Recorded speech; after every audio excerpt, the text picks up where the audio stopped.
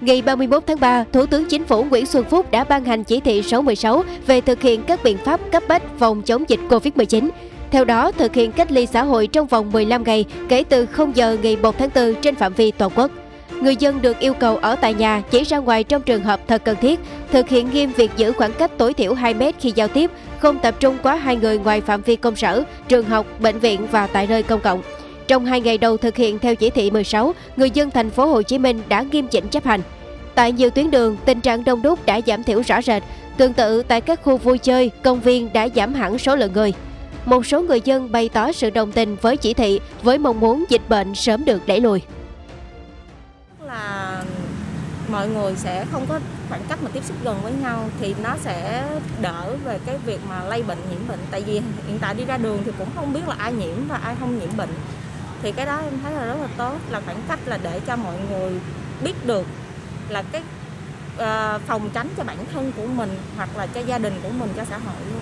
Thì em thấy là cái việc mà hạn chế đi ra đường này nó rất là tốt cũng có khuyến cáo mọi người nên tự bảo vệ bản thân bằng cách rửa tay hoặc là đứng các khoảng cách 2 mét và không tụ tập nơi đông người để tránh lây nhiễm đông. Tại vì bây giờ em thấy là càng ngày con số mà người nhiễm bệnh đang tăng lên rất là nhiều. Chưa kể là ở những nước ngoài thì có trường hợp là tử vong rồi. Còn ở Việt Nam mình may mắn thì lại chưa có. Nhưng mà hiện tại con số mà nhiễm bệnh nó đang tăng cao. Thì cái việc mà hạn chế đi ra đường này em nghĩ là tốt cho mọi người. 14 ngày này thì uh, cũng khá là buồn là không có được đi ra bên ngoài nhiều. Và em thì cũng thấy là trên truyền thông có đưa tin đó là siêu thị hoặc là những cái chợ dân sinh đều vẫn hoạt động bình thường. Thì em thấy là cuộc sống sinh hoạt vẫn bình thường thôi, có điều là các mọi người hạn chế gặp nhau thì nó hơi buồn về cái vấn đề đó thôi. Còn ngoài ra thì em thấy là vẫn diễn ra bình thường. Đúng rồi, rất là tốt. Tại nếu mà đi ra đường nhiều quá, lỡ lây lan ra cộng đồng nhiều thì cũng cực cho nhà nước lắm. Đó rồi ảnh hưởng chung nữa. Còn nếu bây giờ mà mình lo mình coi như là mình phòng ngừa trước thì dịch nó sớm sớm thì như tụi cô cũng đỡ khổ. Chứ giờ nói chung là có giờ có buôn bán hay làm ăn gì cũng có được đó ấy ẩm lắm. Cô cũng mong cho là dịch nó đi qua sớm để cho người dân sống lại như lúc trước thôi thì đỡ khổ hơn.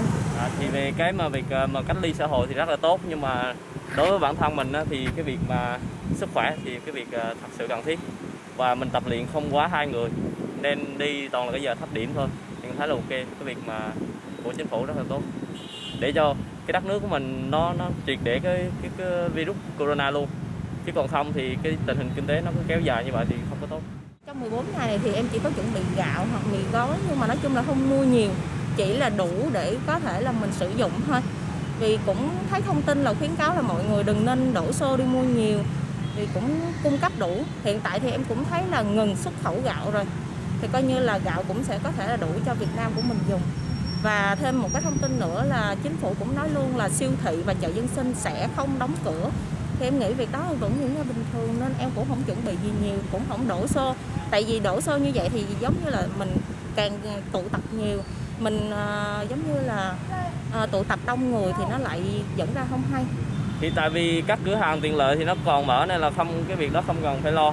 Và cái 14 ngày đó thì cứ buổi sáng tập luyện buổi chiều tập luyện về nghỉ ngơi và cách ly uh, ít tiếp xúc với người khác là được rồi. Cô đi bán hàng ngày. Thì nói chung uh, cuộc sống của cô eo hẹp lắm con ơi. Cô cũng biết rằng là siêu thị chợ búa gì gạo tóc gì có bán đầy á không có thiếu thốn. Cho cô mới chuẩn bị. Không có chuẩn bị cái gì đó ngày nào cô mua ngày đó cô ăn thôi